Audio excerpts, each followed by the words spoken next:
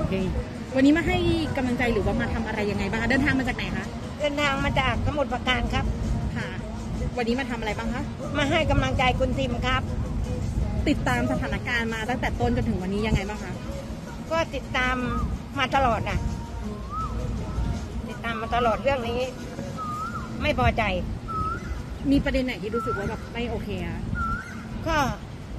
ถ้าประเด็นไม่โอเค ตั้งแต่พิธาจะได้เป็นนายกแล้ว เขาชนะมาที่หนึ่ง แต่พวกคนแก่ๆมารวมหัวกัน บ้าบอ ประเทศจะเดินหน้าไปได้ก็มันคืออะไร ค่ะ ทุกวันนี้ก็ตกต่ำลำบากไงแล้วเรื่องนี้ที่ไม่พอใจมากก็คือไอทีวี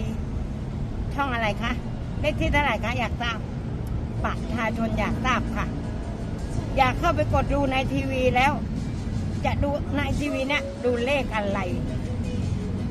วันนี้ก็ตั้งใจปักหลักยาวเลยนะ ก็จะอยู่ที่นี่จนกว่าจะเสร็จค่ะมีอะไรอยากฝากบอกคุณพิธาบ้างคะ ค่ะมีอะไรอยากฝากบอกคุณพิธาบ้างคะ ก็เป็นกำลังใจให้นะ เพราะว่าเราก็ต้องการให้เขาเป็นนายกไงเราก็ติดตามเขาอยู่ เราอยากเปลี่ยนแปลง เราอยากให้เด็กๆมาทำงานมั่งเพราะอยู่กับคนแก่มาตลอด ตลอดเลยมันไม่ได้ดีขึ้นค่ะท็อปนี้หน้ากากนี้ไม้นี้มาจากไหนคะ ทำทำกันมาละ หาทำมานานหลายวันหรือยังคะหรือว่าแบบสักกี่วันกี่สัปดาห์แล้ว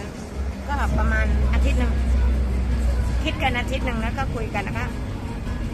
ไปทำเลยอันนี้มาคนเดียวหรือว่ามีเพื่อนเพื่อนๆมากันด้วยหรือเปล่าคะก็จริง ๆ เดินทางมาเจอกันที่นี่นัดกันแล้ว ค่ะ เยอะไหมคะ ก็ไม่ เพราะว่าส่วนมากเราไปไหนเราก็จะไปคนเดียวอยู่แล้ว แล้วก็เพราะทุกคนรู้ไงว่าเวลาเท่าไหร่คุณทิมจะมา ตอนไหนแล้วก็เราก็มาให้ทันเวลา